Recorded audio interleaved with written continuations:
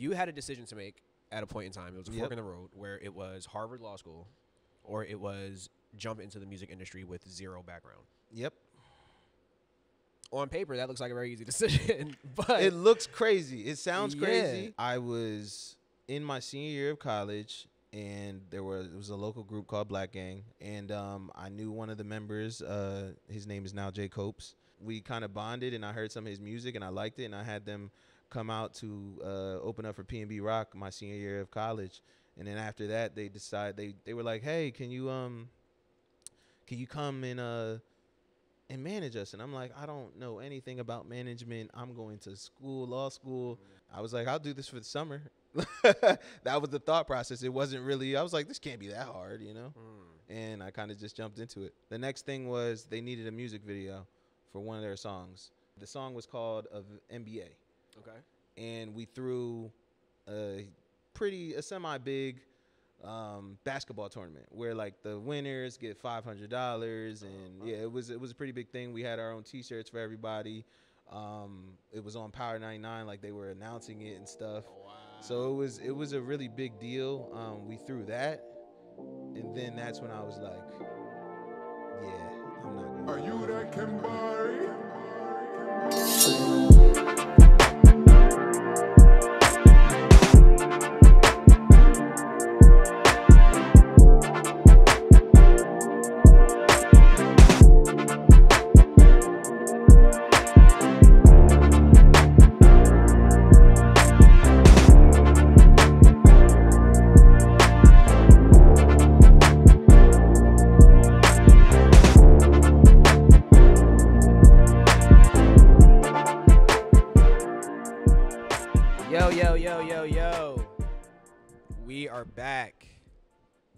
is This Side of Jersey podcast, the number one podcast in the world. Stamped. I am your host. My name is Steven. I go by Ugly Steven on Instagram. I'm a little nasally in the nose. Please forgive me. Uh, if you are watching on YouTube, be sure to like, comment, and subscribe at TSOJ Podcast. If you are listening on Apple Podcast or Spotify, be sure to follow and download at TSOJ Podcast. Now, our next guest is someone that has been uh, on the waiting list for a long time. Um, we're For very sure. excited to, to, to interview this guest. But before we get into the guest, we got to get into our layup lines. So, for those who do not know, layup lines is a segment where we like to get our guests loose. So, we ask a bunch of this or that questions, and your job is to answer in the 24 seconds allotted. Are you ready, sir? I am ready. All right. Got 24 on the clock. Here, I don't want you to see the clock. Nervous. All right. Ready, set, go. R&B or rap? R&B Manage an artist or run a label? label 360 deal or independent? independent Executive produce or a video or a song? video Making music or selling music? making Distribution deals or 360 deals? distribution deals. New Jersey or Philadelphia? New Jersey Being interviewed or politicking with venue owners? being interviewed. Throwing a concert or scheduling a tour? Ah, that was both for real. 'cause that's the same thing, Ah. really. It, i- I guess. I guess in my head, scheduling the tour was more consi- like. Well, I it, feel like because constantly. because uh, when you're when when you're hands on like like I am, I feel like you're also throwing the shows on the tour. So like if you're independent, no one's booking the stadiums for you. You have to book these events yourself, and essentially you're throwing a bunch of smaller events in other states.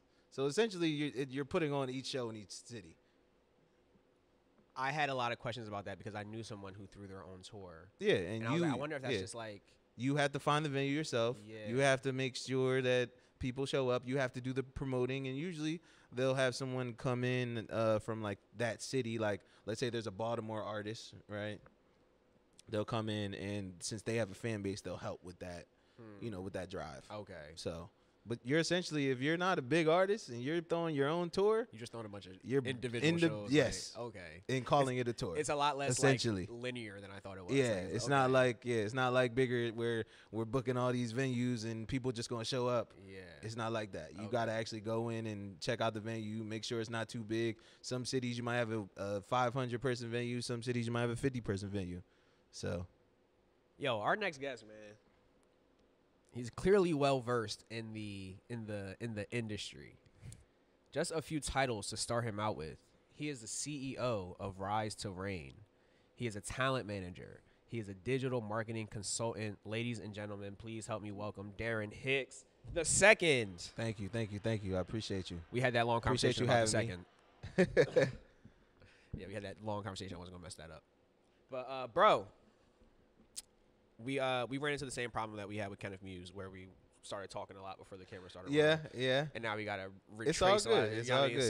So, um, the th- first thing that you said that kind of caught me like off guard was you said you were going, you were in stride, like it was happening. You were going to Harvard Law School. Yes. So, yeah, my whole life, everybody kept telling me, "Oh, you talk too much," you you, you know, and I I was really smart. And uh, when I got to college, it was kind of a one-track mind where we were just everything was built towards going to law school. Right? I took my LSATs. think I got like a 184, 86, something like that. Something what in does the that mean? in the upper. It, it's you have to have a certain. Um, you have to be in a certain percentile to get into some of these Ivy League schools like UPenn. So I got into UPenn, Columbia, all those Ivy League schools. Um, so yeah, it was definitely in the works. Um, I had applied, I had got in, and um, yeah, my life just just changed a little bit.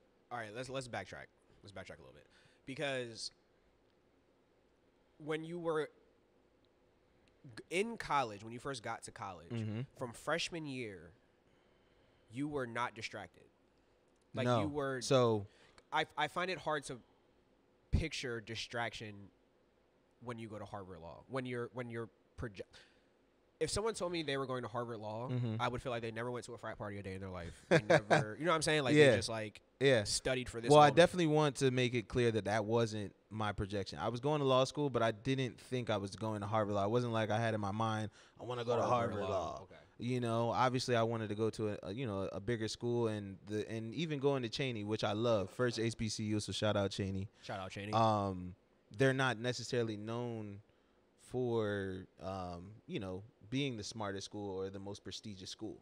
Um, and I guess the best advice that I got when I went there was you make it what you want to make it, right? Like we had a lot of schools you go to and you'll have professors that don't that don't have their doctorate degrees. Every single professor that I had in school was a doctor. Every every last one. Not one didn't have a doctorate. So I, I took pride in that and I also was I was on academic scholarship and if I wasn't on academic scholarship, my parents couldn't afford to send me to college. So I had to Perform. yeah, in a sense, I high had to perform. Um, I was also in the Keystone Honors Academy, which you have to have like over like a 3.5 to even stay in, or even be in the talented 10th, per they say, um, to even be included in some of these um, scholarships. And I also wasn't from Pennsylvania, which is another thing. If you went to Pennsylvania, if you lived in Pennsylvania, you got a lot more scholarships from the universities in state, Pennsylvania. yeah. So I had to go out and really go get my money. Yeah. so I was definitely focused, and I once I caught a rhythm, it was pretty much easy. But I definitely partied. Okay. All right. That's that's what I was looking for. That's what I was looking for. Okay. You definitely party. I right. definitely partied. right. Once I found my rhythm, you know, I think I took early classes. I was 8 a.m., 10 a.m. courses. A lot of people like to not take the 8 a.m. courses because they want to sleep or they've been partying all night. And I just knew that if I sacrificed in the beginning of the day, I could have fun at the end of the day. shit, type shit. So people would be like, "Oh, we got something to do at 12 a.m." Uh, I handed that in at 12 p.m. And then they'd be like, Darren's always partying. How is he able to party with us? Because all that idle time that people waste playing the game or doing any of those things, I just was working. And then when it was time to play, like for real, you could turn up. I could turn up. Yeah. I just wanted to hear about your sins. That's so all. I had a great, I had a great Yeah. time. I want to hear about your sin for life. definitely, definitely in college. College was lit. Yeah, college was that's lit. fire. Um, okay, so you're okay. You weren't necessarily saying like I'm going to go to Harvard, but you get into Harvard Law School. Yes. Right. By the time I got to like junior year, that's when I started to assess.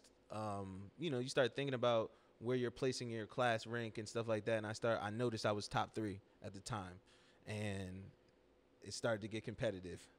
And um, I actually graduated with two degrees, um, so it was even harder for me because I was taking 21 credits at a time sometimes. But um, 21. What's that? Seven classes? Eight? yeah, Yeah, Seven? seven. seven classes. Nah, I never did a summer school or a winter class, and I always made sure I did it within that that semester.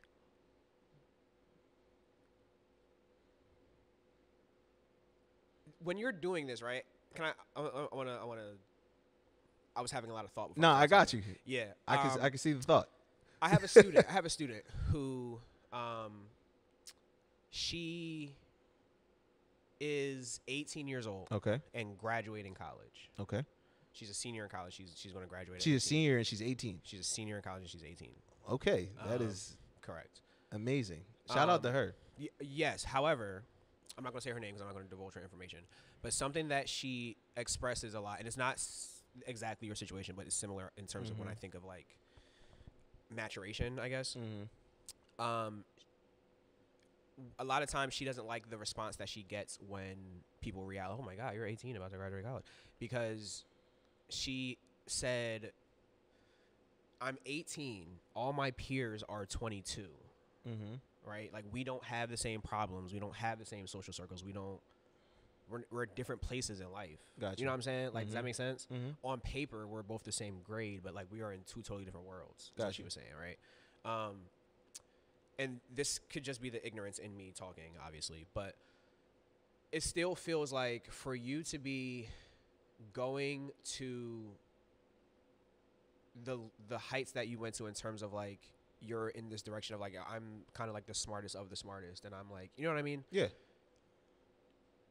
In some way I'm assuming that you had to feel separated from your peers So and maybe that's just me speaking from my circle of low achievers no, yeah, no. like I don't know I don't no, know, no, like- no. I, I, I get, I get where you're coming at, right? But I, I definitely had a good set of friends that kept me grounded, right? Like I, so I had a, a, a friend, a childhood friend that I've known since four years old, right? Mhm. Um, we played football, basketball, lived together. Like I knew him, and you know, we kind of lost touch in high school, but then we went to college together, and um, he was supposed to be my roommate. Some things happened.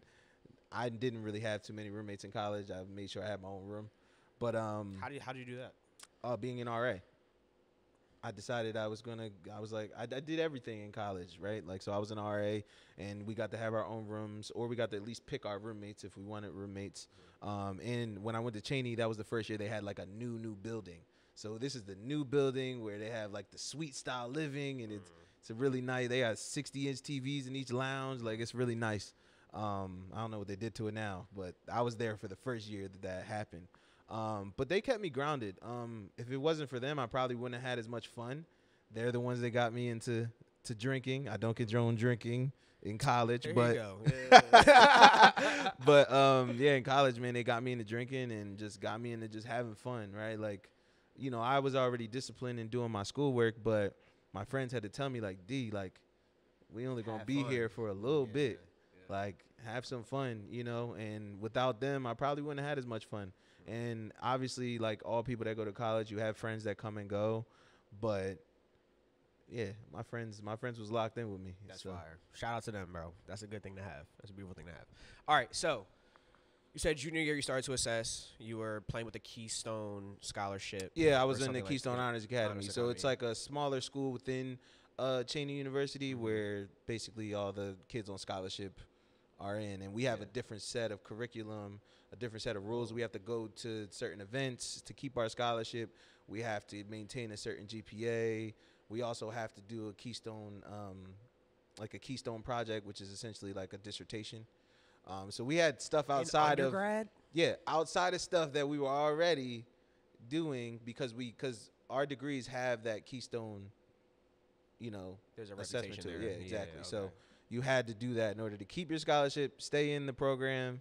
It was a lot, but they had the, we had they had separate housing for us and everything if we wanted it. Yeah. So it was definitely an elite group of It- kids. and when did Harvard become the reality? So Harvard became the reality. I still wasn't really thinking about Harvard until I took my LSAT. I took it the first time. I did fairly well, um, but I just took it again just because it was free, right? Like you know, they I, I had some type of situation where they gave it to me for free. They waived my fee, so I'm like, I'll take it as many times as I feel like Yeah, it, you know. facts, facts. Um, and I studied for it, but I didn't really like study extremely hard for it. But um, I took it the second time, and yeah, I, I scored in, in like that, that high percentile, and You didn't study the first time or the second time? I, did, I didn't study either time really, but I went over the book a little more the second time. But I didn't take any classes for it. I didn't have any help with it. I didn't know any. I didn't talk to anybody that's taken the test before I went in there, and I just I took it. I think, I think LSAT test. It's I don't know. Have you ever even seen an LSAT test? test? No. So basically, the I've, I've seen Suits. yeah, Suits is great though. I love Suits, but it's a great um, analysis. Like it- it's all about analyzing a situation and is this the best situation? So every answer on the test is correct. It's about which one's the most correct. It's like open, like you have to basically justify. Yeah, but The open-ended there- Yeah, but it's not even an open-ended response. It's still multiple choice, and all of these answers are correct. But you have to pick the most correct one. Oh, okay. I see what you're saying. Okay. Yeah. Okay. So all of the answers are correct. So you Yeah. can't even be like, Like I can't do this in a situation. No, you can. It's just yeah, like you really can do everything that they're saying. All of this is correct, but which one is the most correct? And I think that's what bothers people with the test because it's not really your intellect or like how smart you are. It's about you being able to pick something and stick with it, really. Because you second guess yourself in that test and it's over. So the first answer you get, pick that answer. I feel like, but what I'm interpreting what you're saying as is that you are Mike Ross from Suits. Like you just Essentially, yes. kind of pulled up. Like all right. Uh, like, essentially, yes. ah. Obviously, Mike Ross is a character, and Right, he was right, like right. a super genius. but essentially, like I have that capability of going into a classroom, and if I'm in the classroom, I don't have to take notes. I don't have to think. I don't have to do any of that. I can listen to the lecture, look at what they wrote on the board, and I can remember it. Do you have a actual photographic memory, or do you no, think you I think it's just- more of like a. just- I think it's more of an attention span to like just stay locked into conversation because I noticed when I was in school, if I would miss class, it would be rough for me, right? Like if I'm missing class and I'm not hearing these lectures and I'm not understanding what's being said and I'm not hearing it, then that would be rough for me. But if I if I hear you say it, so it's not really like photographic, it's more like It's like Sonic. Sonic, yeah. in a sense. So I would remember every single thing that my professors would tell me. Even to this day, I remember a lot of it. How's your memory? My memory's great, but if I care about it, you know what I mean? Like I'm not gonna remember things that I don't necessarily care about. Can somebody come to you and say, "You said we had this conversation on this day," and you said No, like they didn't. can't pull that card? on no, you? you can't. No, unless you come with some hard Yeah, core yeah. evidence and facts. But you can't if you have nothing and you just your word. No, no, absolutely not. Wow. Absolutely not. Okay. The only person that can do that is Kenneth Muse. By the way, Shout out to Kenneth Muse. I, you're, start, you're, I feel like you're becoming more scary as we talk. why are you s- scary? Yeah, you're becoming more like I don't forget things and like No, I don't it's fuck it's around fine. and, It's like- fine. yeah. You're great at what you do. So I feel like I'm just like this is your podcast. this is your podcast. I am here to answer questions. Oh, all right. I am not analyzing. All right. I, I all right. Let's go back to Harvard. Let's go back to Harvard. Focus. Let's Got go back there. Okay. So you take the LSATs, Yes, you kill it, kill him. and now you're like, oh shit, I can actually, Do this. yeah. Yeah, I It's already. like the scores come back, and then you're like, oh shit. Yeah. And I wasn't really, I want to say I was excited, but I wasn't really excited because I think I was more focused on trying to get valedictorian at the time. And even though that it doesn't really mean anything, Yeah. it was just like in, in high school, I was really good at school. I went to four different high schools, but I graduated like top 10 in the class, even with going to So four different high schools. Um, but I feel like when the realization that I could get valedictorian actually came about, and I'm like, I just had to finish strong. I think I was more focused on that than Mm. anything. Like I was just being competitive. That Yeah. competitive nature that we were talking about earlier with sports is just it just kind of came out of me when I'm, you know, I was just I got I got to win. Yeah. it was it was really a sport at that point, or at least that's how I looked at it. So, yeah, okay. So now Harvard is a reality. Mm-hmm. Everyone's like, oh my god, Darren's going to Harvard. Ah, right? I didn't even tell a lot of people, honestly. I didn't tell my mom. I didn't tell anybody. Why is that like a childhood trauma? I think because? I got into almost every Ivy League, that it was just like, I think everybody was so used to it, right? Like it was just you. Like every year, my mom's posting straight A's. Like every year, like for four years, every single semester she's posting Facebook, Instagram. She's posting that I'm getting straight A's. So I feel like by the time I actually graduated, it was like, it was kind of killed. Can I ask you a question though? Yeah. What does that do to your sense of accomplishment? What does accomplishment mean to you then? If sometimes I, I do have a hard time sitting and being able to like revel in success right like it's hard to be able to like analyze my own success because i'm always thinking of the next thing um it's hard to be happy for myself in certain instances when i do stuff and in this industry once you do one thing let's say you sell out a show tomorrow i got to do something else yeah. you know what I mean? So this industry is is very much you're always chasing your own tail in a sense. Like you're always uh, trying to achieve more. Um, I'm just going to pivot us to now the industry because I Yeah. think I think like we're ready now. yeah, I no think. problem. And it's crazy because I could spend all day talking about Harvard stuff and Yeah, and I can definitely Yeah. talk about college and school all day too. yeah. Um, but I think where we can kind of pivot this to where like now we're getting into your expertise a little Mhm. bit, right? Is you had a decision to make at a point in time. It was a fork Yep. in the road where it was Harvard Law School, or it was jump into the music industry with zero background. Yep. On paper, that looks like a very easy decision, but It looks crazy. It sounds Yeah. crazy. So it talk about crazy. talk talk first about the opportunity that presented itself in the music industry, and then you weighing those options. Okay, so um, I, obviously we talked about this earlier, but now you know we're gonna talk about it on the pod. But I was in my senior year of college, and there was it was a local group called Black Gang. I I know you've heard of them. Shout out Black Gang. Shout out Black Gang. Um, they're not a you know not a group anymore, but back in the day, around 2016, uh, they were a group and they were relatively successful in the area. And um, I knew one of the members. Uh, his name is now Jay Copes. Uh, Jay Dope back in the day. So if I say Jay Dope, please don't Shout out Jacobs. don't get upset. but um, yeah, I knew him, and uh, we kind of bonded, and I heard some of his music, and I liked it, and I had them come out to uh, open up for PNB Rock my senior year of college, and then after that, they decided they they were like, hey, can you um, can you come and uh. And manage us, and I'm like, I don't know anything about management. I'm going to school, law school. I have no, I had no want to even want to do that. But I did have some time in the summertime in between law school and um, graduating. Um, and yeah, I just kind of had a meeting with them, and I was like, I'll do this for the summer.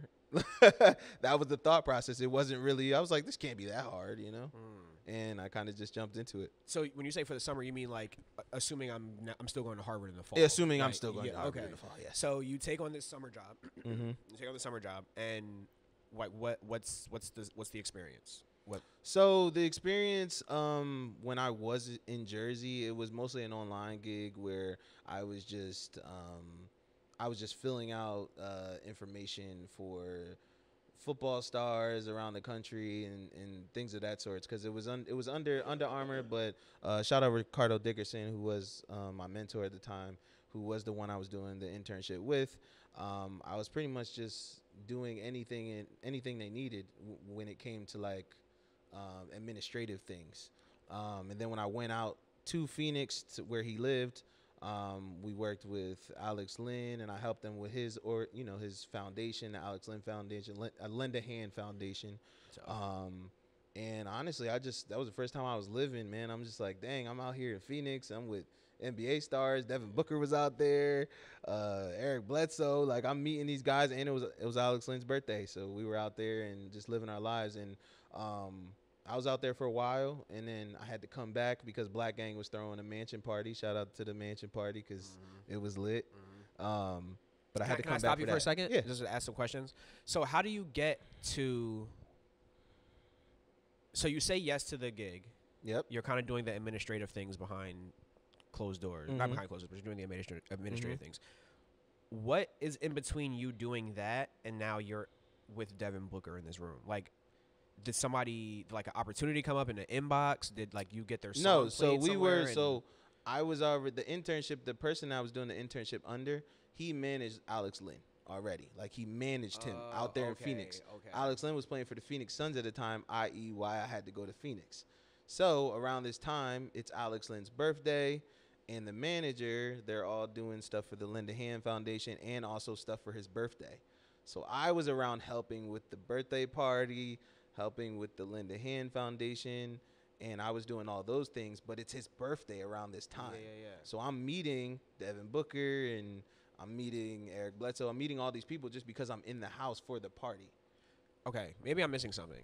How did the internship come about? Is this He's, an internship? so he's a family friend, right? Like, so I went okay, to okay. a lot of my stories can turn into a lot uh, like bigger stories. So I try Okay, not okay. to get too deep into Okay, it. okay, okay. Um, he's a family friend that uh, that met my dad when we were you know younger. Mm-hmm. Uh, he also was in the league for a little bit, played for the Raiders a little bit, like, but he went to Maryland. He played D one. He was a linebacker and a um, fullback, and uh, he now works with LaVar Arrington. They also have a podcast, so shout out to LaVar Arrington and, and them. Um, but he's a family friend, and he was the one that reached out to me to be a part of Okay. what they had going on, and that's how I got out there. So the Alex Len situation was totally separate, but when I went out there, I just helped them with whatever they needed. So Okay. yeah, So now this is all in the span of a summer. yes. Okay. This is all. I graduate May. Yeah. I'm in Phoenix in June, or yeah, I'm in Phoenix in June. Okay. So now you come back for the mansion party. Obviously, Black Yep. Black Gang throws a mansion party. So now you're back in Jersey. I'm back. I should have stayed, but I was back. Okay.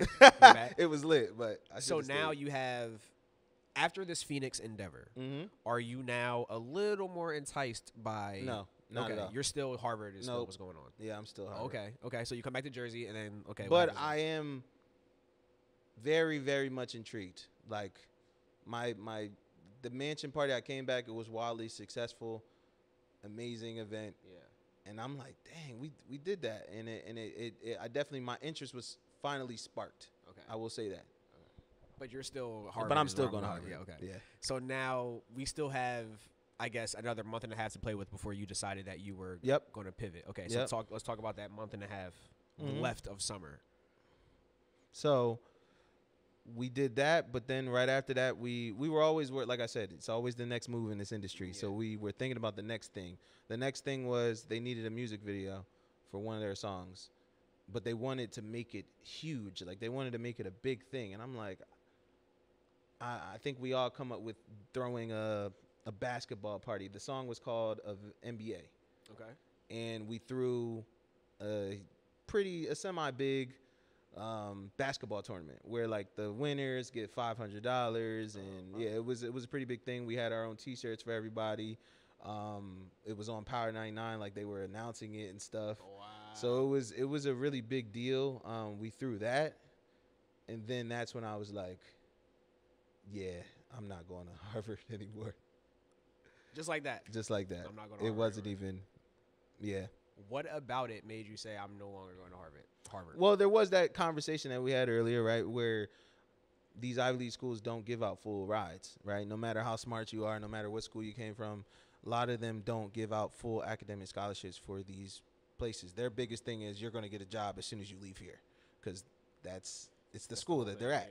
Um, so I was just like, do I really want to be a lawyer? Like that's what I was thinking to myself. I'm like, people my whole life was telling me that I'm I'm supposed to be a lawyer. You should be a lawyer. But I never once sat there and thought about it like, do I really want to be a lawyer? So I started to call family members that I knew were lawyers. These are like extended family members, not even like really close family members, but people I just know are lawyers. I'm calling them, asking them. Most of them are telling me if they could do it over again, they wouldn't. Most every, mostly every, all of them, even lawyers that I talk to to this day, most of them love the money, and some of them don't even love the money because if you're not in corporate law, you're not making that much. You know, Really? Like DA, if you're working that? in like the DA's office and stuff, you're getting paid regular fifty thousand dollar jobs, like.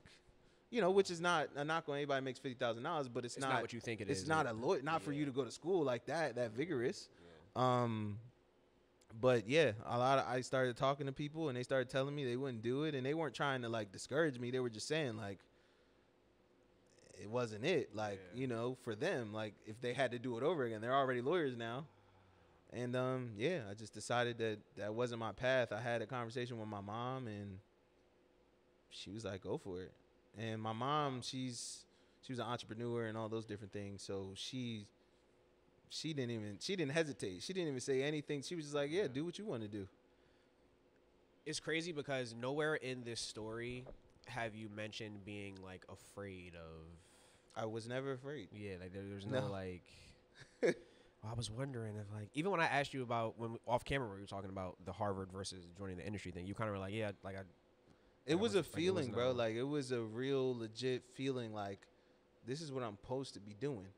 Like I didn't know what I I didn't know like how it was going to get done Yeah. and all. Like I couldn't call my story now, but it felt right. Like it just felt right. And the and and me being a lawyer, it felt more forced. Like it felt like I was just doing what appeased everybody. It was easy because I didn't have to think. I just had to do my work. I I don't want I don't want to mention this so early because there's so much more of your story that Mhm. will will- like I think this would like uh mean more at the end of your story. Yeah. But it came up, so I want to ask, like, what have you conceptualized the thought or the idea? Like, I'm listening to the story and I'm hearing you basically say like the total trajectory of your life, like 180'd over a summer. Yeah, essentially, yeah. Have, but like everything said- you worked for for 20 some years yeah, over the course of a summer yeah, essentially. just like pivoted and went yeah, I never, elsewhere. I never thought I would be in the music industry. That was never a thought of mine. Like I, I played around with it in college, but not anything serious enough to be like, I'm gonna change my mind about what I'm doing with my life. Everything was towards going to law school and being a lawyer. wow okay so we make the jump Yeah. we go into the music industry Mm-hmm. right so obviously now you're like like i made it to the nba but like i gotta get minutes i gotta get endorsements i gotta get right so like how are you now trying to pave a way So my biggest thing was I didn't know anything, so I did as much research as that I could, right? Like, and then certain things, even when I re- when I researched it, I didn't understand it. So now I'm reaching out to people and I'm just asking questions. I'm going to every single event you can go to. I'm also listening to the artists that I'm managing because they've been doing it for three, four years, and I slowly started to understand that they didn't know a lot of things as well. Like they're just, they really just want to make the music. Um, but they know a few people more than I did, but they never really, you know, they didn't really introduce me to people and things of that sort. So my biggest thing was let me meet as many people as possible. That was my biggest thing. Just meet as many people as possible. I was at every single event from 2016 to 2017. Every single event. and you're doing this from new jersey Mm-hmm. Okay. Every all of this is from New Jersey. Okay. All of it. so you networked you built uh, yep. So I'm I'm networking between Philly and Jersey. Okay. And then at this time, are you still working with Black Gang? Are you Yeah, so so 2016, I was still working with Black Gang. Uh, I actually wind up um, starting my own company around the time. Right, I was. Uh, you know, there's just a lot of things you have to learn when you get into the music industry, and I think I got into it from a non-selfish standpoint. I'm still in it from a non. Being a manager in general is a non-selfish, yeah, yeah. you know, very selfless um, job. But I think the biggest thing that I did was um, I got into it because I cared about the individuals, right? Like I actually cared about Black Gang. I cared about the individuals in Black Gang, and I think that's where I had my my mind was right. It wasn't really focused on more. So I was focused on getting them opportunities and not focused on the business of it. Mm. I was on, but that's what made me great at first, right? Because I really, how many people really, really care about who they work with, and and I think that's that's what I've always kept. But there were humbling situations where I noticed that just because I give out love doesn't mean I'm necessarily going to get that back. So I had to kind of get my business together. and um yeah, I started my own company and yeah, I started signing other artists at the time. Uh so And when you went to these other artists, in terms of leverage that you are providing them, are you saying like, "Here's what I did with Black Gang"? Now this is the this is the craziest thing in the world, and to this day it's still like this. every artist or talent that I've ever managed, I never approached them. I never approached them and asked them to manage them, ever. That never happened. All of it has always been organically just come together. And it's insane to say because so many people are DMing me asking me to be their manager, or I've talked to a lot of people that have asked me to be their manager, but I've never, not once, went up to somebody and was like, "Hey, I want to be your manager." It's never. That's never happened. And since it's never happened, is that now a you never will? It's almost in a sense, yeah. Like obviously, we scout talent, and it, the you know, the bigger we get, and the more you know resources that we get, I'm sure there's going to be instances where I reach out to artists that I think are up and coming and that I think have good work ethic um, to work with them. But as of now, as of you know, I have never reached out to anyone to be their manager. Is there a give me a checklist, not uh, as much as you can, a checklist of what you are looking for in an artist. Okay, checklist. So First checklist is be a good person. okay, Okay, because if you're talented and you're a douchebag, I don't care. actually, I got one better. Let's turn into our segment that we haven't named yet. We haven't named this segment yet. Got you. So I'm the Um, first for this segment, or you just You're not the first. it? No, we you just, just didn't name it yet. Yeah, we've been doing it way So- too long actually to not have a name, but we definitely put a name on it. But um, hi, uh, Mr. Hicks. How you doing? Um, my name is Little Ranger. Um, I've did business with. Oh, Kenneth Little Muse. Ranger. Yeah, I've, yes. done, I've done business with Yes, Kevin. he told Kenneth me Muse about before. your- yeah, Um, about he, your he- he turned me down. It was kind of weird. Um, yeah. No bad blood or Don't anything. get but don't don't be offended. yeah, I he just turns down a lot of folk. yeah, you know. Um, but uh, yeah, my name's Little Ranger. Um, I'm from uh, I'm from Pennsauken, New Jersey. Okay. Um, assume that my music is good. Assume that my music is good. Good. Um, good or great? Or we just good. It's good? It's Just good. Okay. Uh, Mr. Hicks, I want you to manage me because um, I've, I've I've seen what you've done in the industry. Um, you know, you're a fellow Jersey guy. Um, here's here's here's the thing. I'm not really big on the. I'm not really big on the music video thing. You Mhm. know, that's not really my thing. I do like to make the singles. I I prefer to have like a Frank Ocean kind of appeal. Okay. You know, where don't got to be seen too much. Okay. You know. Well, you're Um, not Frank Ocean. That's the first thing I would say. That's the first thing I would say. Am I not Frank Ocean? or- not- Or, you're do you not. not believe in me the way no, you would? Believe? No, you're not Frank Ocean. That's just that we're just gonna stop that right there. But I would also say, Little Ranger, that if you want to be in this industry right now, as of 2023, going into 2024, you have to make music videos. You have to make content. There is no excuse or way around it. There is no other way. you have to, or you don't want to be an artist. Okay, I'll make music videos. I'll make music videos for you, Mr. Hicks. Okay. Um, thank you for taking the conversation because we didn't even get this far with Kenneth Muse. Got so, you. You know that guy. Kenneth, if you're watching this, just know you're seeing the opportunity that happened that you could have had. You're ha- you're seeing it happen right now. Um, I'm finding my match right here. Um, yeah, I'm not big on albums either. You Yeah. know, I'm just like a you know I'm a singles kind of guy. Okay. Well, that Um, works honestly right now okay. because if you're uh, just starting out, um, it doesn't make sense to push out a ton of music. It makes sense to just funnel si- singles out and budget behind them before you get to any type of project. Then once you get to the fan base, once your once your fan base is letting you know they want more, then you give them a project. But you don't need to right now. I gotta say this this this this this rise to reign feels like home. You know, I gotta, I gotta say this. this well, we like- feels- we like Rise the home. Rain, man. Yeah, Shout out the team. Send me some paperwork. I'm ready to sign. I got you. I'm ready to sign. Little Ranger. It was great working with you. You know what I mean? It's great working with you too. Now I don't want to say any names. I feel like you're a good person. That's my number one. Thank you, thank you. I feel like you're a good person. and I just wish Kenneth Muse saw that. Well, good thing is when you work with Rise to Reign, you work with Kenneth Muse. So Oh, technically, that, yeah, yeah. Oh, we gotta.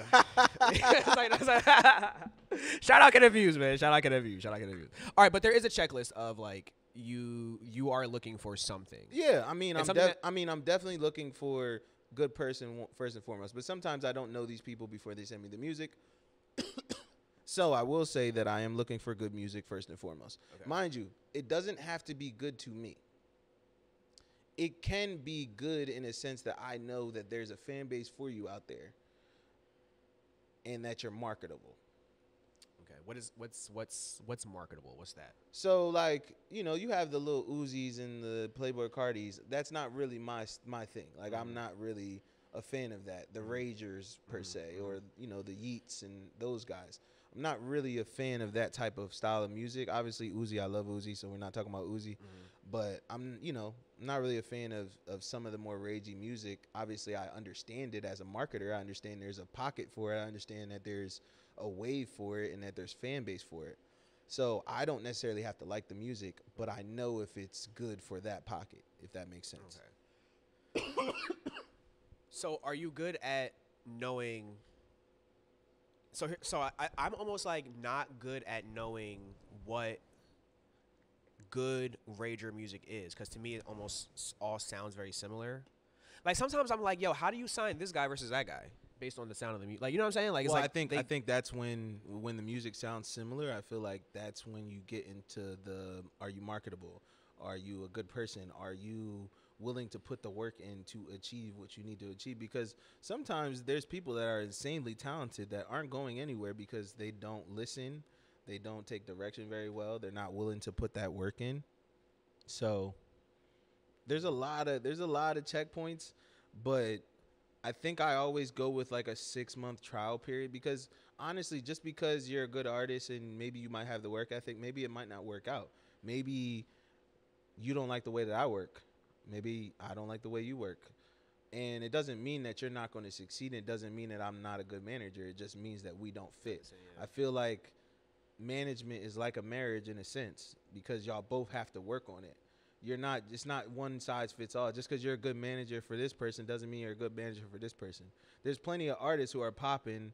Let's just throw out Ice Spice out there. Anybody? I don't know her manager, mm-hmm. but just because her manager does well for her doesn't mean that manager is going to be doing well for you because the opportunities arise differently for different artists. how do you know as a as a, the talent manager? How do you know when an artist is worth being flexible for? Like, I think I Is it- think it's a can they do like a one infraction thing and then it's like this is not? Well, work? yeah, I think once I think it's uh, similar to what I said with a marriage. I feel like once you're in it, like once I did, it takes a lot for me to decide we're going to sign this contract and we're going to get in. We're and essentially we're going to get in bed together for me for business, right? Like, I don't feel like I'm going to give up after one try, right? But I also have done this a long time to where I'm not going to ignore red flags either. I think being transparent and letting them know up front if you do not want to listen to me or listen to what I have to say, then there is no hard feelings. You can you can run your own career because at the end of the day, this is your career. But if you want to work with me, I'm going to tell you what's best for you based on my assessment. But at the end of the day, it's still your career. I don't run your career. So if you don't want to listen, you go ahead. It's that simple. I don't think I make it hard anymore. You know what I mean? Like I feel like in the beginning of my career, I feel like I was um beholden of artists a little bit, right? If an artist wasn't moving or wasn't working as hard as they could work, I felt like I was stagnant. But that's not the case anymore, you know? So either you want to listen and you want to you want to get more popping or more popular popping whatever however you you want to be you want to reach your goals then you need to listen. And that's just that simple. You know what i mean? And a lot of artists think they need managers and in the re- in the beginning beginning you don't really need a manager if you don't have anything to manage. I think that's the biggest thing. Like people don't put in enough work to require a manager.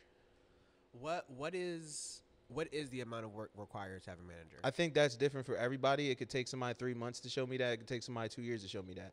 And like I said, um, I'll even bring up my you know my newest signee, which is High Note. Um, shout out High Shout out Note. high note. Yeah, we gonna you shout out know, High everybody go listen to Teach Teacher Something right now. But um, also shout out Kenneth Muse because he produced that Shout record. For sure. So um, with High Note, um, he was doing music for two, three years, w- probably about two years before we even locked in with him. And I knew who he was because I used to work with his brother and their family. So um, we always reposted his music. He would send it to us and we would listen to it, but we never reached out to him to work with him or anything like that. because at the end of the day, I, like we talked about before, you could be doing music one minute and then the next minute real life hits you and you're not doing music anymore. So I think people that really take this serious and this is really their profession, um, I feel like that shows over time. And it also shows in your work ethic. How many songs are you actually putting out? Do you are you actually trying to put effort in your music videos? Like I can see even if it's not at the level that it needs to be, I could see the work. You know what I mean? And High Note put in that work. and that's that's something I want to ask too, right? So like when you say like I, before, I remember you saying that you you would do something like a six month trial or something Mhm. like that. Are you looking at the back catalog and then saying like this, like I'll work with you, or are you saying like your back catalog is, uh, let's do six months? And see how this so let me tell you something. So back catalog, depending on how good the songs are and like what type of artists I feel like they are. Like let's say an artist has already been popping and they've been doing music for four or five years and they already have an extensive fan base because that's happened as Yeah, well. Um, it's different from an artist who's just starting out, who's probably done music for a while but never put out any music videos, never done all of those things. So it's it's a it's really a by person yeah, basis. circumstantial. Okay. Um, but I will say is because I have worked with Kenneth Muse for a long time, I like when he's able to influence an artist in a way to where I feel like can elevate their music. And I feel like Kenneth elevates everyone's music that he touches. Like every all the music that he touches, he elevates their music That's fire. you know and i've been around a lot of engineers a lot of producers but i feel like when he connects with someone because he, you don't connect with everybody when he connects with someone musically it's over it's over That's fire. That's fire. So, um, when you look at artists and and like you're looking to work with them, are you looking at a period of time? Like you're saying, okay, I think this is going to be a five year situation, or is it kind of like an indefinite? well i definitely i start with off? one year like i said if i know if i'm unsure i'll Yeah. do six months if i'm sure i'll do a year Okay, so by a year is that year like the by that year they they know they want to stay or they don't want to stay at it. Okay. like they usually stay what flexib where have you been flexible with an artist where where is somewhere where you kind of had this position or this stance or this rule or this whatever and an artist has come and made you think twice about your stance or it made you kind of be flexible Well, in the beginning, like I said, I feel like I was more beholden, right? Like, so I feel like I was more so letting them choose what they wanted to do instead of me like trying to. Because, like, at the end of the day, this is a selfless position. I'm trying to help you with your career. It's not my career. It's me literally involving myself in your own career. So I feel like that's the that's the selflessness of it because it's not my career. It's yours. Obviously, if you win, I win, but it's a way different percentage than if Right, you know what I mean? right, It's not yeah, like I yeah, get yeah. fifty percent. Right, You know what I mean? yeah. Um, so I feel like in the beginning I used to let them drop music like whenever they wanted to, like wasn't really fighting back on I think you should drop this record or I think you should drop this record. I feel like it was just like they would pick the record and I would just do everything that I was supposed to do for the rollout. okay. Um, now, since I've gotten more established, I think I pretty much tell them what I think. Obviously, I give them their their. Uh, it's your career at the end of the Yeah, day, so you can tell me if you don't like this idea or not. But most of the time, I feel like I have a good like energy with the artist to know like, okay, it's between these songs. Like, give me a choice. Like, it's between these three songs. Okay, then I get to pick the song from those three. And I think I'm lenient because I think even High Note, I think he wanted to release some music, and I was like, nah, not not now. And then he was like, nah, please, like, I'll release this song, like, to do this, and and we wind up releasing it, and he's actually had a really good run this year. So I think I'm lenient in that sense where I kind of, I let you kind of dictate your career within limits because at the end of the day, I feel like I'm kind of the captain of the ship where I'm like, you know, I'm trying to get us to the destination. And obviously, you're the ship in a sense, right? The artist is the ship, mm-hmm. so we can't get there without you. But you also can't get there without the captain either, because you don't know where you're going. So you kind of let them expand a little bit Yeah, with it, like they're not going to pummel their career. yeah. but But at first, I feel like when you're managing, managers don't feel like they have the power to say exactly what they want, right? Like, I don't know. Like some managers are friends, some managers are just people that you meet and then you become friends. But like sometimes when you're first starting out and you you don't you're not as confident, you don't feel like you can assert yourself and say what you believe. And a lot of times you just don't even know. You know, if I don't know what I'm doing, how can I tell you what to do? does, does a does an artist ever come up to you and say, "Yo, yo, yo, Darren, like, look at this, look at this, look at this four bars I got real quick. Tell me, like, tell me what you think." You know, you want to know a funny story, man? I was getting my oil changed at um, what is it? Uh, Pep Boys. Okay. Oh my goodness, Darren Hicks. Yo, bro, what's up, bro? Yo, I, I rap, bro. I'm like, you work here, bro. Like, like I'm trying to just get my service at the time. Right Like, now, I- I'm a customer. yeah, you feel what I'm saying? Like, can we get the can we get the the oil change done before before we get to the rap? Man, my boy rap for me, man, and it was trash. I'm sorry, whoever. If you see this, it was trash. this recently? Nah, it Oh, was okay, just okay, like okay, fine, right, two years ago, but it was trash. Yeah. It was trash. So what are you? T- was like? How are you portraying that to him?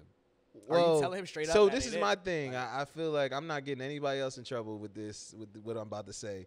But someone, and they know who they are because I'm gonna say someone. Uh-huh. Someone told me, you know, and I might be telling on him right by saying this anyway.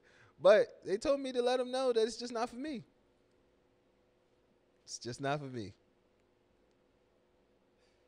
That's fine. No, shake my hand. that was fire, bro.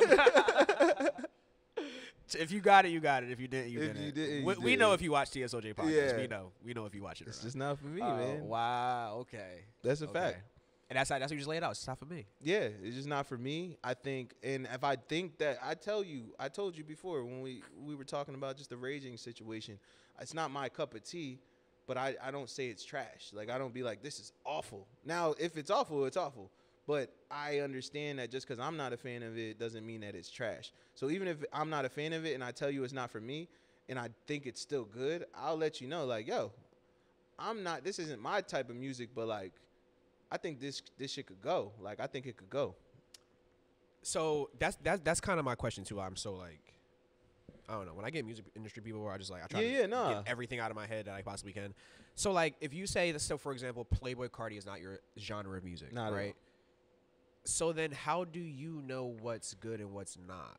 I think it's the marketer in me, right? I think I know we haven't Okay.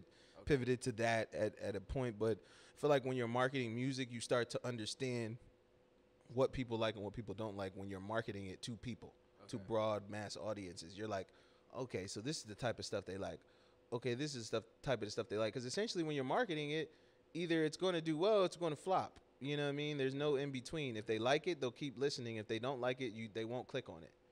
Um, and I feel like through doing that for so many different artists over time, even artists that aren't my artists, just being a marketer in general, has shown me that you can, you know, what's good and what's not good, and just being in the studio so much now. I've been, I have way over ten thousand hours in the studio nowadays. You know what I mean? So I think I've listened to enough music, and like I said.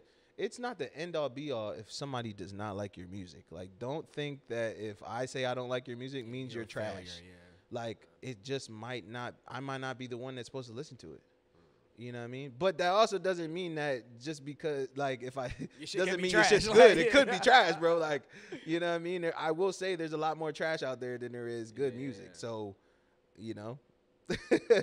You have more no conversations than you have. yes yeah yeah for sure Yeah, for yeah. sure for sure. And i feel like i still try to help people who i don't like their music right? Like i don't just manage people right? Like i'm a consultant too. So like i might consult you for six months and just give you advice on what you should be doing and it might not be management because i'm not like you said i'm not uh what was the word you said earlier where i wasn't uh changing around my schedule or like Being flexible. yeah, like, I, I'm not being flexible for you in a sense. Like I'm not gonna book sessions and move my sessions around to make sure I'm there, but I'm gonna give you the advice. You're gonna I'm gonna tell you how much you're supposed to save. I can introduce you to different videographers so that your budget isn't being overkilled on just videos. I'm also the marketer, so I can be your digital marketer at the same time. So I'm a, I'm essentially like I don't even want to say this in a bad way, but a microwave manager. Like I'm not really your manager, but I'm just consulting you. Yeah. And uh, some people I do that for free. Like some people don't even pay me. But a lot of people do pay me to do that. So It's like you're not a manager, but you can kind of do what a manager needs. to exactly. I'm like an office manager. Yeah. Like it's on, it's like no, but you know how like a um like like a ah dang, it's like a ah, it's a a personal assistant, but like a virtual assistant. Can I- so Can I ask you a question? yeah, Can someone hire you Mhm. and not need a manager? yeah, So I think you're a manager. Like I would. yeah. you're- You you're- can yeah. you can hire me and not need a manager. Yeah, for sure. Like I can say I'm managed by Darren Hicks You could say that. or Rise to Reign. I would just say. Yeah, most people just use Darren Hicks. Darren- I don't okay, know why, sure, but okay. but yeah, there's some people that say that I manage them, and maybe I would consider it consulting. But I don't. eh, I'm not about to have that conversation Right, with you. right, if you feel like I'm managing you, then sure. feel But comfortable in that. Yeah. look, as long as I'm doing my job, I don't. You know, whatever you want to call it, is up to you. So I want to I want to send this out to we're going to post this and send it out to all the artists that we Got you. Of. All right. So uh, as the the the authority figure that you are, what is the worst or what is what are some pet peeves that artists approach you with or just about artists or working? with? I dislike when I get DMs, yo, bro. I don't know you. And it's not that I'm being bougie or like I don't want to talk to you. It's just you just you're just saying, yo, bro. You don't say what you want. You don't say what you need. You don't say who you are. There's no introduction to anything. It's just, yo, bro. Or somebody sent me to your DM. Like, so how about you tell me everything else? Cause I'm not, I'm, me personally, it's too many DMs now. Like if I show you my DMs, bro, like if I show you my phone, I have 500 unread messages. Like, and it's not because I'm bad communicator. Like you can ask my, you can ask my artists who talk to me. I communicate very well, but I don't like conversation. I don't like small talk. Let's get to why you're DMing me because you're DMing me for a purpose. I'm not on so I'm on social media socially, but I'm essentially only on social media to promote music and to be on there for Business, business. yeah. I'm not really there for anything else. social. Hey, Exactly. Darren, how's exactly. it going? exactly. Especially not from no artist. You know what I mean? Like, so I think I hate that. I hate the yo bros. I hate the just send me random music without saying anything. I feel like it would come off way more well received if someone were to introduce themselves. Hey, how you doing? I've heard a lot about you. I feel like um, you know, I need help in these areas. And even if it doesn't work out, at least now I'm looking at you like professional. a professional, not a yo bro. You know what I mean? And if it's people you know, of course, fine. Hit them with the yo bro. It's people that I know from back in the day that rap now, and they hit me up yo bro. I'm gonna hit you up yo bro because I know you from back in the day, not because I'm about to answer your Right. musical question. like it's almost out of social obligation. I'm going to respond. Exactly, to you, exactly. And a lot of people nowadays, they just they go right to your bougie or your, you know. I feel like there is a sense of you have to be aloof in a sense, right? Because everybody can't have access. That's just that's just what it is in this industry. And I think I had to learn that in the beginning because I thought people were being mean or cruel when they didn't want to talk to me. But it wasn't that. It was when you're focused on what you got going on. If you're not trying to add to that or bring some type of different energy, then people aren't really receptive to it. You know what I mean? And I feel like as artists, you have to have that sense of I don't want to. You have to feel connected with your audience, but you also got to feel like you're separate from your peers, right? So it's it goes in both ways for everybody. You know what I mean? Like people, Beyonce isn't Beyonce because she's just good at music. It's like there's a sense of like Beyonce's untouchable. Yeah, Like yeah. there's an aura. yeah, you know what I mean? And that's built, you know what I mean? And I'm not saying everybody's like that, but there's that sense for mostly all the bigger artists. They have this sense about them that's like, oh, like mysterious in a, in a sense, but they also bring you into a sense to where you feel like you're a part of the journey. So it's a it's a it's a balancing act for sure. And on the flip side, I'm going to ask you, what is something that an artist can do to stand out when they are trying to get this uh, level of help or assistance? I think professionalism, like I just said, though, professionalism will get my attention over anything. Okay. I mean, so nothing in their gimmick, nothing in their Nothing in their your image, gimmick, I nothing in mean, marketing. I nothing in feel like a lot of people that come to me don't know what they're doing. So if you're coming to me nine times out of ten, you don't know what you're doing, and I probably won't like most of the stuff because like they probably won't have a bunch of videos and a bunch of stuff that I'm that I think is really good because they don't know what they're doing. there are established artists and um, talent that come to me, but in that sense, we just get right to work. You know what I mean? It's not really too much to talk about because you already have motion. I'm just here to elevate it. You know what I mean? But if you're reaching out to me and you need to get my attention, either pay attention to what I'm already doing and try to emulate that or be professional. But I post everything. So you might not know my background moves, but you see what the videos look like. You see what the content's looking like. Just copy it then. You know what I mean? Not in a sense of like copy word like bar for bar or like video Yeah. for video, but like take a little bit from it and create it your own. Mm-hmm. You know? Or take it as serious as we're taking it. Of it. course. That's something that he and I were talking about with with like getting interns for our media company. And I think a lot of artists don't understand what management is. I'm in your life. I am literally your best friend. Like I'm right here with you. Like like for real, bro. Like if somebody somebody has a death in the family, somebody has you have a baby, all of this affects my ability to be your manager. So I if somebody died in your family, somebody died in my family. Yeah. You know what I'm saying? If you break up with a girl, we broke up with that girl. You feel what I'm saying? Like I'm serious, and I don't think people really understand that. Like it takes so much out of my own time to do shit for other artists. You know what I mean? Like everybody wants it for them. Like artists are so one track minded. This is every artist. This is not a dig on anybody's or my artist. This is your artist. Anybody's artist yeah, yeah. they are all thinking about themselves because it's your career. You're supposed to.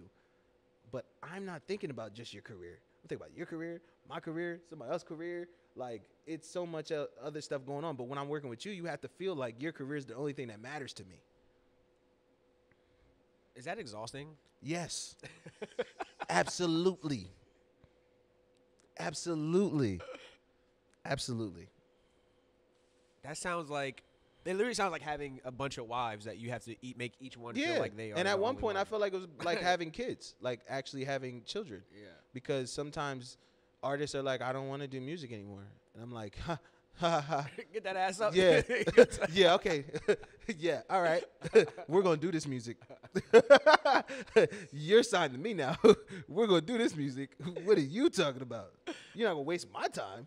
That's hilarious. For real, bro. For real. I'm serious, man. It, it is exhausting, and I I also think that artists take it take for granted their uh, management. You know what I mean? I don't think managers get enough credit in general. You know what I mean? There's not even a lot of managers to even be given credit to, but it's like the ones that are really good, they don't get the credit that they're due. Do you notice um, a specific characteristic or a specific um, commonality with Jersey artists in particular? I think Jersey artists think they're better than what they are. All of them. And I'm not saying they're not good, but there's a big headedness about Jersey artists, like a just a sense of entitlement, should I say? And even when you say the when I say these things, people might take them negatively, but they're not negatively. I, I don't think they should be taken negatively. I think I could even use words like confidence, right? Like Jersey artists are confident um, but they always feel like they're the ones being left out, right? Like no like since since we don't have like this big industry, everybody feels like they should be the next one, right? Or I'm gonna be the one that t- brings us all out of this. Like there's a savior complex, and then there's also a, but it's me complex. Like you know what I mean? So I think that's a commonality right there. I don't feel like we sound like anybody. I feel like we you can't tell the artist is from Jersey. If you play some music from a couple artists that are like good around here, you won't be able to be like they're from here or they from here. Like you might mess it up because Jersey artists don't have we don't have a sound per se. We're very versatile. So I will say that too. But the commonality is like the I'm gonna be the next one. Like there's mm. there's that in all of them. Mm. That savior complex is an interesting comment. Yeah. It's like they're entitled to have the ego because no one else made it. Yeah, so like it's, exactly. I'm Exactly. wow.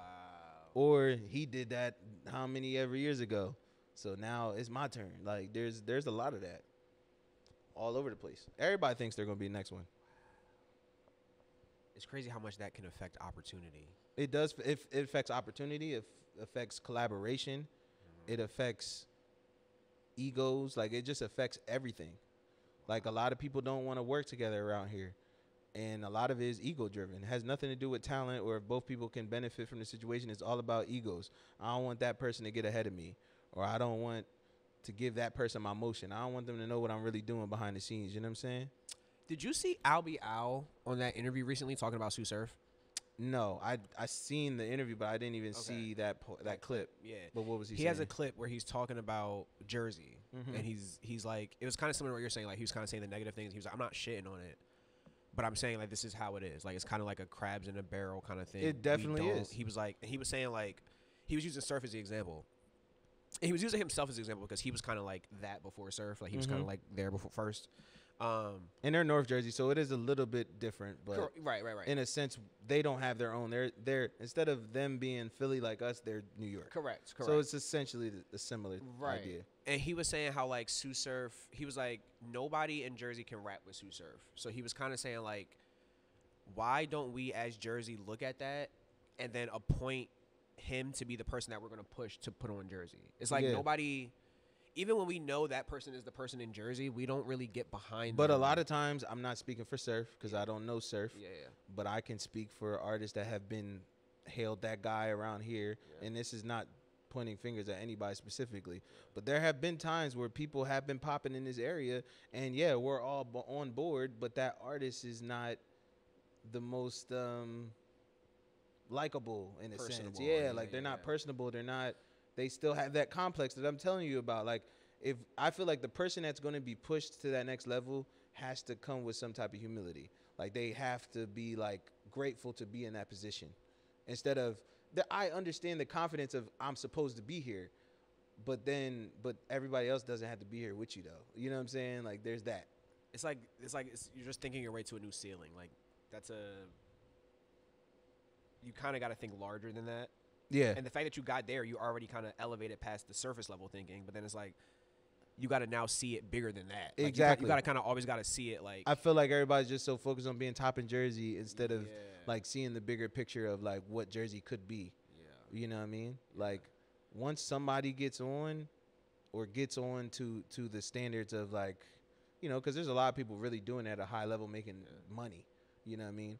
But I'm talking about like the A you know- Jersey bred mainstream. yeah, like- yeah, yeah, yeah, for sure. Like the you know like how Philly got Meek and Uzi. You know what I mean? He did say you're right. He did say Fetty Mhm. Wap as well. He did And say you Fetty seen Wap. what and, You're right. and Fetty Wap went crazy, but Fetty Wap, but that's also in North Jersey, right? Like North Jersey has them more closely than we do, right? Because they're closer to New York, which is a bigger mecca than Philly would, would even be. Because Philly, we didn't help put like. Yes. but he also, but I can't always put that. I can't put that on everybody either because he was doing stuff he had no business doing in the streets too. Like he ain't Sure. You know, right, right, right, right, right. I'm just saying, if you get to that point, at a certain point, like how Lil Baby was talking about it, like he was still in the streets for a while, and then at a certain point, you got to realize, like, You can't do that. I'm him. I gotta, I gotta really get out and make some real, like, make some real money. You know what I mean? I mean, but that, it's not a knock on Fetty. Because he was amazing, his run was ridiculous. Yeah. Two, what, Fetty three top crazy run. tens. Fetty had a crazy. His, he got a new album coming out too, which I'm gonna be tuned into. Really? Zoo, Zoo, is it Zoo? It's King Zoo or something like that. fire. Something like that. We will be giving that a listen on TSOJ TSOJ list. We will be For giving that a sure. listen, yeah. But so that's not a knock on him, but it's like whoever gets in that position, they need to leave the streets alone, and they need to they need to really lock in on what they're doing. You know what I mean? So Like, they don't get caught that- up. Yeah. Assume know that what I mean? responsibility. Exactly. Assume that responsibility. You know what I mean? Because I think it's the quick money. I think Lil Baby was saying like that quick money is just it's just different. you know what I mean? You get addicted to the quick money. Yeah. You know what I mean? But he once he found out like, all right, I kind of got to get out of this, or at least assume to make it look like you ain't in it. You know? So I Listen. think that's that too. Jersey artists, we want. Is this my? This is me, right? Yes. We want someone to uplift. We want that. There's a lot think- of us you know out what I mean? here are willing to help. as the consumers, right, and as the media companies and the media platforms and the podcast and the things of that nature, we want not just one, we want multiple people. We want that like we want to be able to push somebody to that realm, Mhm. right? Like I I feel like I've been talking to a lot of people as of recent, bro, and I feel like I've been getting a lot of insight of how they really feel about Jersey, and it's not that good. Yeah, and I feel like because I was, I want to say I was a, a pioneer of that time for just bringing some type of culture to Jersey when we were throwing the shows at Volume Cafe um, every other week, and I also was throwing showcases in the middle of that as well. And we put on the biggest to this day. It's the biggest South Jersey concert, uh, independent concert ever with Keeping It Jersey. Shout out to Shout out- you know hey. everybody that was a part of that. You know what I'm saying? We had a yeah yeah I can hear I'm that. say, you probably just think I'm like, what the fuck? No no no I can hear it. but um, but yeah, what, what was the exact topic we were talking about? Just Um, the Jersey. I was saying how uh, we want someone to uplift, we want someone to push forward. Um, but How did I pivot to the other thing? I don't know, but I'm happy. I'm happy that it happened to you for uh, some the guest for once and not me, because No, it happens to me every other episode. Yeah, yeah, yeah. So I'm happy that it happened to you this time. No, because me. I remember your at your question, and then I'd be like, "How did I get to this point in the in the question?" yeah, no, I don't know. Oh, I was saying that. I think I was just saying the people that tr- that are trying to help push Jersey forward, it's always pushed back by some type of entity. Obviously, going back now, if I would have known that if I had gotten the police involved originally and had them be the officers and stuff, then they wouldn't have pushed back as much. If I would have get, if I would have put some money in their pocket, Like involve them a little bit. yeah, then they wouldn't have been upset. But I wasn't even thinking. I'm not even thinking this needs to be a police matter. You know, we started to get bigger than what we are, what we thought we were. You know what I mean? But I feel like there's a lot of people out here that want to help Jersey, but I feel like everybody is like standing in their own way, if that makes sense. You know what I mean? There's not a sense of working togetherness. And I can I can honestly say that over the years I have like worked with less people. And that's just because either a lot of people don't work in the music industry anymore or because I, my vision is just bigger, you know, than what everybody's looking to do. Let me ask you a question with your with with digital marketing. Mm-hmm. Is looking at a place like Jersey even like you know how you have like target audiences and Yes. target places? You saying, am I and even target- targeting Jersey at all? yeah. Now for Jersey artists, I am Okay. because that's where you're from. Like so, like if y'all see sponsorships or y'all y'all see sponsorships on Instagram where it'd be an artist that you never even heard of, but they're from Jersey, and that's how you got to know them. So yeah, in a sense we do. But if you're ju- if we're just talking about artists that are from Atlanta or an artist from Kentucky or whatever, I'm probably not hitting Jersey. No, but that's the case for anybody. I'm not going to hit Kentucky for, a Jersey right. person. Like I'm gonna hit the Kentucky for the Kentucky guy. I guess that's what I was gonna say. I guess what I was gonna say is, is there a digital marketing strategy where you kind of almost ignore if you're from a small market like New Jersey, for example, you kind of e- just ignore even trying to. No. Absolutely not. Okay, I'm gonna tell you why I said that. Mm-hmm. Um, and this may be a bad example, but just hear me out. Soul Child Okay. has a fan base. Shout out Soul Child, Shout out Soul. Child. Yeah, she's fucking amazing. She just talked in my class like a few weeks ago. Um, she has a fan base away from Jersey. Okay. right? Like like a large fan base that's not New Jersey, Yeah. right?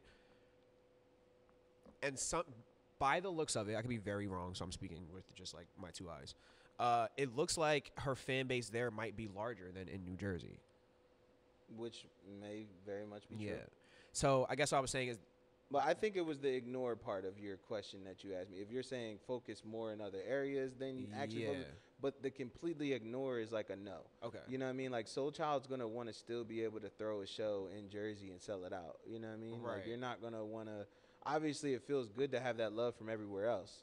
yeah, But I feel like if you can't throw a show in your area and have 300, 400 people come out, which is not that much to me personally, Yeah, but it's a good number. I don't want people to feel bad about that number I thought it because was a huge number. that's a great okay. number.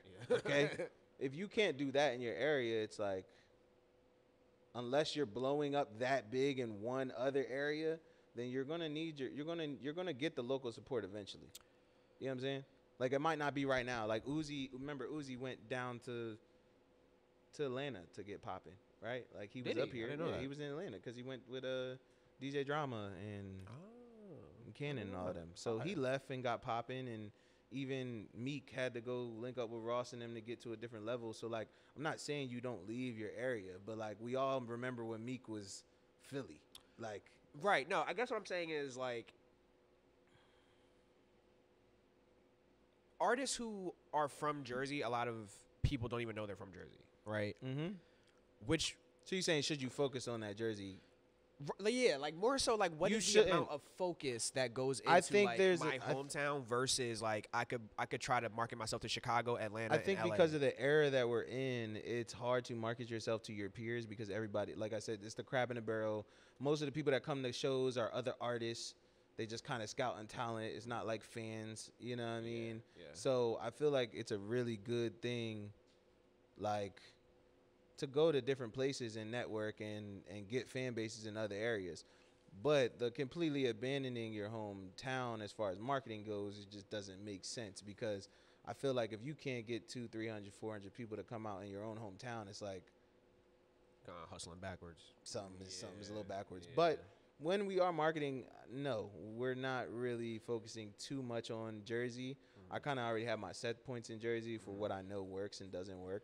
But I always run it for Jersey artists, yeah, because it's tangible fans. It's people that you actually gonna see because some most of these people don't have the budgets to to leave Jersey, right?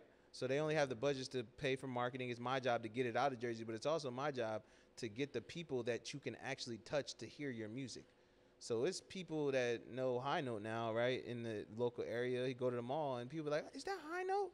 They wouldn't have did that if I just skipped over the marketing for you know anything else. Like I have kids that hit me up now. Yo, we just seen their ad for High Note over here, and I'm like, oh, okay. That like that means it's getting to the people it needs to get to in the area while also getting to people that are from different areas. I want to do. I I don't think we uh talked enough. I want to talk a little bit, and I'm gonna get you out of here, bro, because I know you, I know you want time. All right, it's all good. I'm Um, enjoying the conversation. Thank you, bro. Thank you. I appreciate that.